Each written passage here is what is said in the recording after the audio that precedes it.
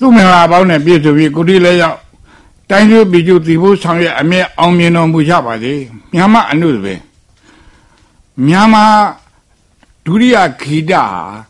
မြန်မာစာပေဟာအရင်ကမှာပဲလို့ဆိုတဲ့အကြောင်းကိုကျွန်တော်တို့ဆက်လက်ပြီးတော့ပြောကြအောင်စို့အခုပါပါဆိုရင်ဖြင့်ကျွန်တော်တို့၄ချိန်ရှိပါပြီအဲ့ဒီ၄ချိန်ရှိတဲ့အထက်မှာသောတာရှင်များစောစောကလည်းကျွန်တော်တို့နားလည်မှုထားပြီးတော့မေတ္တာရခံထားတဲ့အတိုင်း တခုခုကိုရေးလဲလဲအကွက်ကြအောင်ပြောပြပြီးမှတင့်လျော်လိမ့်မယ်ဆိုတဲ့အတိုင်းဒီအကြောင်းကိုကျွန်တော်ဆက်လက်ပြီးပြောနေပါလေခုလက်ဆက်ပြောမှာပါပဲတိုးတော်လည်းပဲဒီထက်မှာကျွန်တော်တို့ဖိမှန်ကပြုထားတဲ့အတိုင်းပေါ့လေလေသောတာရှင်များတွေကဝင်ရောက်ဆွေးနွေးမင်းမြန်နိုင်ပါတယ်လို့ဆိုတဲ့စကားအရာကျွန်တော်တို့စီစာနှစ်ဆောင်ရောက်လာပါတယ်အဲ့ဒီစာနှစ်ဆောင်ကိုခုကြားဖြတ်ပြီးတော့အနှဲငယ်ကျွန်တော်ဖြေကြပြကြည့်ခင်ဗျာအကြောင်းကတော့က ပါတဲ့အကြောင်းကတော့ပြောရမယ်ဆိုရင်ကျွန်တော်တို့မြန်မာဒုတိယဂီတပညာမှာစီးစနစ်ကြကြနေတာရှိသလားတချို့ကတော့လည်းပဲဒီဒီဥစ္စာဟာအမှန်တန်ကျေပြနဲ့နားထောင်ကောင်းအောင်ဆိုကြရတာပဲဖျားဟောလည်းမဟုတ်ပါဘူးစသဖြင့်ပေါ့လေအတချို့ကလည်းစီးစနစ်ရှိပါလေလို့အဲ့ဒါလိုဆိုတဲ့အတွက်ကြောင့်မြန်မာဒုတိယဂီတပညာမှာစီးစနစ်ကြကြနေတာရှိပါသလားရှိရင်တိတိကျကျသိပြရသည်ဆိုတဲ့အကြောင်းတစ်ခုပါတယ် နောက်ပုဂ္ဂိုလ်တဦးကတော့ကဒီအကြောင်းမျိုးခတ်ချင်မှာမတော်တော်သူဆိုတဲ့စကားကတော့မြန်မာဒုတိယဂီတပညာမှာသီဆိုတီးမှုကြတဲ့အခါမှာစီးနဲ့ဝါရလို့ရှိပါလေအဲ့ဒီစီးနဲ့ဝါဟာဒုံမကတ်ရင်မမှန်ဘူးလို့တရေသေးဆုံးပြပြီးတော့ထားတဲ့အချက်ရှိတယ်လို့ကြားပါတယ်အဲ့ဒီစကားမှန်သလားအကယ်၍ဒီဒုံကိုက်မှမှန်လဲဒုံမကိုက်မမှန်ဘူးဆိုလို့ရှိရင်အခုအခါဒုံမကတ်တဲ့တခြင်းနေရှိတာကောဂရုပြုမိကြရဲ့လား အဲ့ဒါတွေဘယ်လိုလုပ်မလဲစသဖြင့်မလို့ဒီအကြောင်းပါပဲအဲ့ဒီဥစ္စာကိုကျွန်တော်အခုဖြေချပါမယ်ကျွန်တော်တို့ဖြေချတဲ့အခါမှာ၄မျိုးရှိတာပေါ့ဗျာအတူကျုပ်တိတိကျကျလေးဖြေချင်းအကျဲဖြေချင်းအဲစသဖြင့်ဖြေတဲ့နည်း၄မျိုးရှိကြတဲ့အထက်မှာအခုအခါအချိန်မရတဲ့အတွက်တူတူပဲကျွန်တော်ဖြေပြတယ်ဘာဖြစ်လို့တူတူဖြေရင်ကျင့်တတ်တော်မူကြဖို့လဲလို့ကျွန်တော်တောင်းပန်ရမလဲဆိုတော့အခုကျွန်တော်ပြောသွားတဲ့စကားတွေကအဆုံးကြတော့ ဒီအချက်အတဲ့တွေကအကုန်ပေါ်လာမှာပဲတိတိကျကျခိုင်မာမရှိတဲ့အကြောင်းကိုကျွန်တော်တို့တဖြည်းဖြည်းချင်းလည်းပဲယုံလုံးပေါ်လာမယ်အဆုံးသတ်ဘဝကြတော့အခါကြတော့လည်းပဲတိတိကျကျရှိတဲ့အကြောင်းကိုကျွန်တော်တင်ပြလဲအခန့်ရောက်အောင်မှာပါဒါကြောင့်မလို့အခုခတ်တူလိုပဲဖြေပြတယ်ဖြေရမယ့်အဖြေကတော့မြန်မာဒုတိယဂီတပညာမှာစီးစနစ်ကြကြနန့်တာရှိပါတယ်ခိုင်ခိုင်မာမာရှိပါတယ်ဒါကျွန်တော်တို့တိုင်းတစ်ပါးဒုတိယဂီတများမှာ တချင်းသီဆိုတိမှုသွားတဲ့အခါဒါမှားတယ်ဒါမှန်တယ်လို့တိတိကျကျပြောနိုင်တယ်လို့ဒုတိယတခြားတိုင်းတစ်ပါးဒုတိယဂီတများကိုတတ်ထားတဲ့ပုံကိုယ်တိုင်းနားလဲပါလေသူတို့မှာအမအမှန်တိတိကျရှိတယ်လို့ထိုနည်းဆိုတာကျွန်တော်တို့မှာလည်းရှင်းရအခါကလည်းကဒုတိယဂီတပညာရဲ့တိတိကျကျရှိပုံကိုကျွန်တော်တို့မှာရှိပါလေကျွန်တော်တို့စောစောကကြံစီထားတဲ့အတိုင်းပညာရှင်များတွေကချိုးနှီးမင်းများထားတဲ့ အချက်လက်များကိုစုဆောင်းထားလို့ရရှိတဲ့အတိုင်း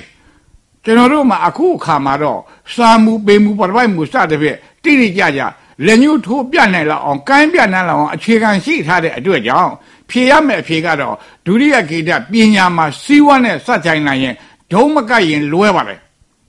ဒုံမကရင်လွဲတာမှကျွန်တော်တို့ဆိုလိုတာကမြည်သည့်တချင်းကြီးတို့ဘာတို့ဘာလို့မဟုတ်ပါဘူးတချင်းမှန်ရင်အကုန်လုံး တန်ချမ်းရောဘာရောမြန်မာတချင်းမှန်ရင်ဒုံကအောင်ရေးတဲ့ကဒုံကအောင်ရေးရပါတယ်ဆိုတော့လေတီဆိုတိမှုတကဒုံကအောင်ရေးရပါတယ်ဒါပါပဲအဲ့ဒါအတူကျုပ်အစီရင်ခန္ဓာကိုကျင့်တတ်တော်မူပါကျွန်တော်နောက်ရှေ့ကြက်တော့ဆက်ပြီးတော့အဲဒီအကြောင်းတွေယုံလုံးပေါ်လာပါလိမ့်မယ်တောတာရှင်များစောင့်ပြောနားချင်တော်မူကြပါလို့ဒီနေရာကတောင်းပန်လိုက်ပါခင်ဗျာတဲ့တော့ပါပြီကျွန်တော်တို့အရင်စကားချက်ကြအောင်ဆိုရဲ့အရင်စကားရှိထားတာကအတန်များမှာရေးတော့အမှန်ဖတ်တော့အမှန် နောက်တစ်ခုကရေးတော့အမှန်ဖတ်တော့အတန်နောက်ဆုံးတစ်ခုကရေးတော့အမှန်ဖတ်တော့ကာယံဆိုတဲ့သုံးခုဟာဒုတိယဂီတမှာကျွန်တော်တို့အဲဂီတစာပေမှာသုံးပါတယ်ဒီတော့ကနောက်ဆုံးရေးတော့အမှန်ဖတ်တော့ကာယံဆိုတဲ့အကြောင်းကိုလေးကိုကျွန်တော်တို့နောက်ဆုံးအချက်ကိုကျွန်တော်တို့အခုတင်ပြဖို့ရှိပါတယ်အာအာအီအီဥဥအေအေအောအောအန်အာတရားအလုံး၁၂လုံး အဲ့ဒီတရား၁၂လုံးနဲ့ပေါင်းတဲ့ဘီမှန်ရင်တူတဲ့အတန်းရှည်တဲ့အတန်းမတူမရှိတဲ့အတန်းသူ့အချိန်လိုက်ဖြစ်လာတာဒါတွေကလည်းလွဲဖို့မရှိပါဘူးသိတော်မူကြတဲ့အတိုင်းပါခင်ဗျာသို့တော့နောက်တစ်ခုရှိတာကတကုံလွှမ်းပြီးတတ်တဲ့အတ္တများရှိပါတယ်အတ္တ12ပါးအဲ့ဒီအတ္တ12မျိုးမှာထွက်လာတဲ့အတ္တများကြတော့ကဒါတွေကသိထားဖို့လိုတယ်ဒါကြောင့်ဒါကိုအခုဆက်ပြီးတင်ပြရမယ်ဆိုရင်ပထမနံပါတ်1အတ္တကကာကြီးပါပဲ ကာကြီးနဲ့တတ်လိုက်တဲ့အခါကျတော့ကအတန်တွဲဟာဘယ်လိုဖြစ်လာလဲဆိုတော့ပမားဖြင့်တာဝင်းပူကိုကာကြီးနဲ့တတ်လိုက်တဲ့တစ်တောင်းမှုကိုတက်ဆိုတဲ့အတန်ကြားတဲ့တောင်းမှုကာကြီးတတ်တယ်ဆိုတာသိနိုင်တာပဲဒီပြင်စာလုံးနဲ့တတ်လို့မထွက်ပါဘူးဒီအတန်တောက်တိုက်ဒါတွေကကာကြီးတတ်တယ်ကြီးအမှန်သားမှတယ်ကာကြီးနဲ့တတ်တဲ့အတန်ကတော့ချားဟာဝင်လို့မရဘူးဒါနံပါတ်1နံပါတ်2ကငတ်တာငတ်တာဆိုတဲ့အတန်ဟာ ငါနဲ့တတ်ရင်ဒီအတန်းကြီးထွက်သလားလို့ဆိုတော့ဥပမာအပြင်ခါကွေးရပ်ပစ်ငတ်တာချင်းခါကွေးရပ်ပစ်ညာချမ်းသုံးဖို့ညာကလေးတတ်လို့ခေါ်တယ်အဲ့ဒါလည်းချင်းပါလေအဲ့ဒါချင်းဆိုတဲ့အတန်ဟာငတ်တတ်ရင်လည်းချင်းတယ်ညာချမ်းလေးတတ်ရင်လည်းချင်းတယ်လို့အဲ့ဒါသိထားဖို့လိုတယ်နောက်တတိယနံပါတ်3စလုံးတောင်းမှုစတတိတ စ်တို့ကစ်တို့လစ်တို့နစ်တို့ပေါ့ဗျာစာနဲ့စာနဲ့တတ်လိုက်တော့သို့တော်လည်းပဲစတတ်တဲ့အတန်ကိုကြားရင်ဒီတန်ဟာစာလုံးနဲ့တတ်တယ်လို့တထေရတဲ့မပြောနိုင်ဘူးနော်ဘာကြောင့်လဲဆိုတော့ကျွန်တော်တို့စာစကားပြောစကားနှမျိုးရှိတယ်အဲ့လိုရှိတော့ကအဝတ်တစားလို့ဆိုရင်အဝတ်လို့ဆိုရင်ဝတ်ဆိုလိုက်ရင်ဝကိုတတ်တတ်စကားနဲ့ပြောမှဆိုအဝတ်လို့ဆိုတယ်စတတ်တံပေါ်လာတယ်အဲ့ဒါတစ်ချက် နောက်နံပါတ်၄ကညတ်တာညတ်တာဟာလုံကြီးတင်ဆံခအတန်နဲ့အတူတူပါပဲထားစင်လူလုံကြီးတင်ဆံခထီထားစင်လူရဲ့ညတ်တာတဲ့ထီအဲ့လိုအတန်ထွက်တယ်သို့တော့ထားစင်လူညတ်တာလိုက်ရင်ထီဆိုသလိုညတ်တတ်တဲ့အတန်နဲ့လုံကြီးတင်ဆံခတူတော်လဲတချို့နေရာမှာမတူတာကဘယ်လိုလဲဆိုတော့ဥပမာတလဲလဲပြိုအောင်မိတယ် တလဲလဲပြိုအောင်မယ်ဆိုရင်လညတတ်ထားတယ်ရတတ်တန်ထွက်တယ်ဒါဖြင့်ညတတ်ရင်လုံကြီးတင်ဆံခလည်းထွက်တယ်ကျွန်တော်တို့ရတတ်တန်လည်းထွက်တယ်တခါတခါကျတော့ညတတ်တာလုံကြီးတင်ဆံခပဲပြန်ထွက်တာပဲဘာမှဖြင့်စေးရီလဲလေစေးရီလဲလီတလည်းမီဒီနေကြီးဖျားမနှွေးတော့ကြောင့်အဲ့ဒါမှဒီနေရာမှာ အတန်ကလီလို့ပါတယ်လဲလီဆိုမှအဲမီနဲ့ကြိုက်လဲလဲဆိုရင်မြေဖြစ်သွားလိမ့်မယ်အဲ့ဒီအချက်ကတစ်ချက်နောက်တစ်ခါညတပ်ပင်တူတော်လည်းပဲသဝေထိုးအတန်ပါသေးတယ်ပါကြောက်ရည်ညတပ်ပြီးဆိုတာဒါတို့ပြီးဒါတို့မြည်ဆိုတော့အဲ့ဒီမှာညတပ်လည်းပဲသဝေထိုးအတန်ပါလာတယ်အဲ့ဒါလည်းတစ်ချက်စဉ်းစားဖို့ရှိတယ်ပြီးတော့နောက်တစ်ခါ ညသက်ကိုဝိသစ်သနီးနဲ့ဝိဇ္ဇနှလုံးပေါက်လိုက်တဲ့အခါကျတော့အတန်ဘယ်လိုဖြစ်သွားပြန်လဲဆိုတော့နောက်ပြစ်တန်နဲ့ထွက်လာပြန်တယ်နငယ်ညသက်ဝိဇ္ဇနှလုံးပေါက်နီးအနည်းငယ်နည်းနည်းနောက်ပြစ်တန်ထွက်လာအဲ့ဒီလိုလေရတယ်အဲကြောင့်ဒီသားနဲ့အကုန်သိထားတဲ့အခါကျတော့ကရေးတော့အမှန်ဖတ်တော့အမှန်ရေးတော့အမှန်ဖတ်တော့တာရေးတော့အမှန်ခတ်တော့ကာယ ကာယံကျတော့ဘယ်နေလို့ဆိုတော့နာတော့တာရှင်းတာကနာလက်ခံနိုင်လောက်အောင်နာလက်မခံနိုင်လောက်အောင်မဟုတ်နာလက်ခံနိုင်လောက်အောင်လှည့်တဲ့အခါဒီအတန်တစ်ခုတည်းညတက်လိုက်ရင်ဘယ်နှတန်ထွက်တယ်လဲဆိုတာလေသိထားရင်အဲ့ဒါတွေသိထားဖို့လိုလို့ဒါအခုကျွန်တော်တင်ပြတယ်တောင်းမှုတတ်တယ်တတ်တတ်နဲ့ပတ်တတ်အတန်လွတ်ချင်းတော့အတူတူပါပဲအတိတ်ကတော့ကွဲတော့ပေါ့ဗျာအတိတ်ကတော့ဒါတပ်ဖို့နဲ့ဆိုင်တဲ့ဥစ္စာပေါ့ပမားပြင်သူ့လက်ကိုဖိုင်ရင်ဆုပ်လိုက်သည်ပတ်တတ် ထိုအခါသူနောက်လို့ဆုတ်သွားသည်တတ်တဒါတွေကတော့တပ်ပုံနဲ့ဆိုင်တဲ့ကိစ္စအတန်တွက်ကတော့တတ်တနဲ့ပတ်တတူတယ်ပြီးတော့နတ်တနငယ်တပေါ့လေနာကြီးဖြစ်တဲ့နငယ်ဖြစ်တဲ့မဖြစ်တဲ့သေးသေးတင်ဖြစ်တဲ့အတန်တွက်အတူတူပဲတောင်းဘူးနတ်တတန်တောင်းဘူးမတ်တတန်နတ်တနဲ့မတ်တဟာတတ်တနဲ့ပတ်တလို့အမြဲတူသလားလို့ဆိုတော့မတူဘူးခင်ဗျအမြဲတော့မတူနိုင်ဘူး တချို့နေရာမှာကိုယ်ရတယ်ဥပမာဖြင့်ကာကြီးနတ္တကံကာကြီးမတ္တလည်းကံပဲကာကြီးကိုအောက်ကဝါဆွဲလိုက်တော့ကာကြီးဝါဆွဲနတ္တကွန်းကာကြီးဝါဆွဲမတ္တတော့ကွန်းဟောကွန်းနဲ့ကွန်းပြောင်းသွားတယ်အဲ့ဒီဥစ္စာလေးကကာယအတွက်အသုံးကြပါတယ်အဲ့ဒါကြောင့်ဥပမာလေးပြရမယ်ဆိုရင်ကျွန်တော်တို့ကုန်းပေါင်မင်းတရားရဲ့သမီးတော်လှိုင်မင်းသမီးထိတ်ခေါင်တင်ဘဝမှာငယ်စဉ်အခါက ဝိဇ္ဇာကာယီနန်းတွင်ဇတ်တော်ကြီးကိုသူရေးတယ်ငယ်စဉ်အခါကရေးတယ်ပေါ့လေအဲ့ဒီရေးတဲ့အခါတုန်းကနန်းတွင်ဇတ်တော်ကြီးထဲမှာဇက်ချင်းတစ်ခုပါလာတယ်တောတရှင်များအလုံးသိကြပါလေရေမုံပတ်ပြိုးဆိုတာအဲ့ဒီရေမုံပတ်ပြိုးထဲမှာပါတဲ့စာကိုဖတ်လိုက်ရင်ရေးတော့အမှန်ဖတ်တော့အမှန်ဘယ်လိုဖတ်မလဲရေပေါ်မှာလွှမ်းပါတဲ့ကန်စွန်းနွယ် ရေးတော့အမှန်ဖတ်တော့အတန်နဲ့ဖတ်စမ်းရေပေါ်မှာလွှမ်းပါတဲ့ကစွန်းနွယ်ကန်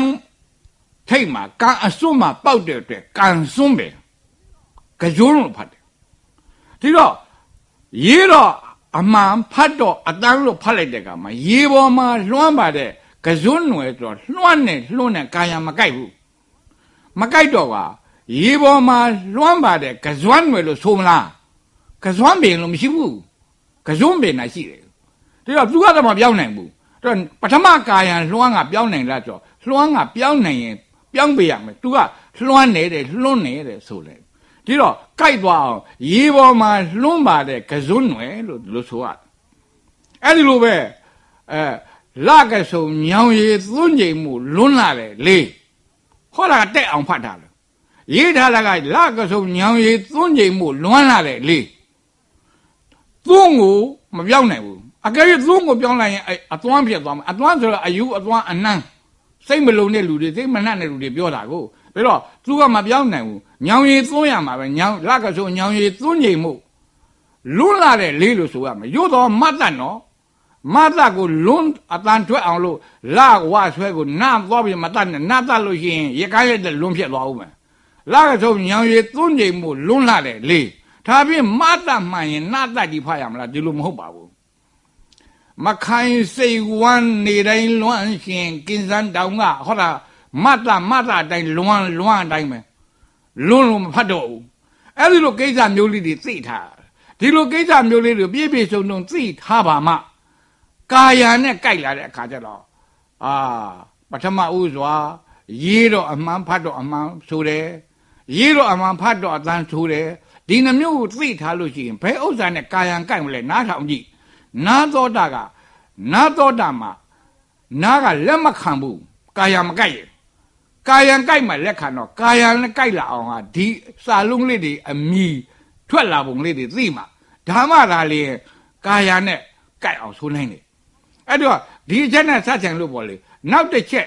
သောရကရှင်များအဲ ကျွန်တော်တို့ဆွေးနွေးမင်းမြတ်ထားတဲ့အထက်မှာအချက်ကလေးတစ်ချက်ပါလာတာရှိပါတယ်အဲ့ဒီချက်ကတော့တိတ်ပြီးတော့မထူးဆန်းလာဘူးပေါ့လေကျွန်တော်အရင်